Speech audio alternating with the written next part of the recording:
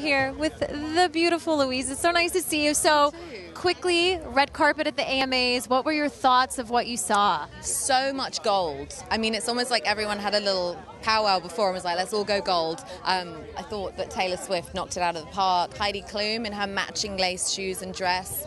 Um, and then Nicki Minaj in a, a beautiful chartreuse gown, which is kind of like a bit reined in for her. You know, normally it's like cray cray um, jumpsuits all embellished in crystals. Um, but Funny yeah. when you think a dress like that is reined in. For anyone else, it wouldn't be. Exactly, I know. And I thought Stacy Keibler looked lovely. I think she presented an award. So it's funny with the music awards because there's no rules. You know, the Oscars, it's all very like long and you you know you don't take too many risks. But with this and the Grammys, it's like anything goes. You know, one of the other ones I was really surprised by was Kesha. It was two years ago that she had the dress made out of recording tape, and this year. You're so right. I saw that dress. and I thought it was lovely. And someone else who wore a kind of sparkly peach was Ginnifer Goodwin. Did you see that one? Oh, she looked like Tinkerbell. Yeah, she she always gives it a bit of a Mad Men vibe, and I love it. So, obviously, British boys are kicking some butt right now. What do you think about that? Well, I love that the British boys are bringing back the boy band. They kind of are, aren't they? I mean, um, you got One Direction with for the younger crowd, and the wanted slightly more grown up. Um, but yeah, it's great. I mean, I grew up with the Backstreet Boys, and that was my kind of right. I saw them in concert when I was 15. I totally, when I, I interviewed them a couple years ago and I geeked out, so I fanned out. I so would too. I, that's like you know who we screamed, and like New Kids on the Block. And now it's like feels like it's coming back around, but they seem to be English, so fine.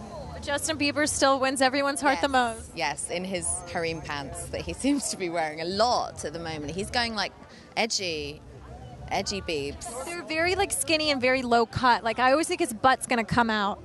They're not that skinny though. They're very baggy. But they're they're either really skinny or really baggy. I, saw, I think he was wearing for rehearsal. He had actually a red shoe and a blue shoe. So I don't think I'll be trying that one yet, but we'll see. Maybe it'll catch on. And as the year wraps up, is there a song to you that kind of just was the song of the year that you couldn't get out of your head? Rita Ora's. Um, oh God, what's it called? I know. I, You know the one. I'm like Yeah. singing it in my head. That one. The party. Let's party and BS. Can't say that. You know, she's awesome, and another Brit too. Yes.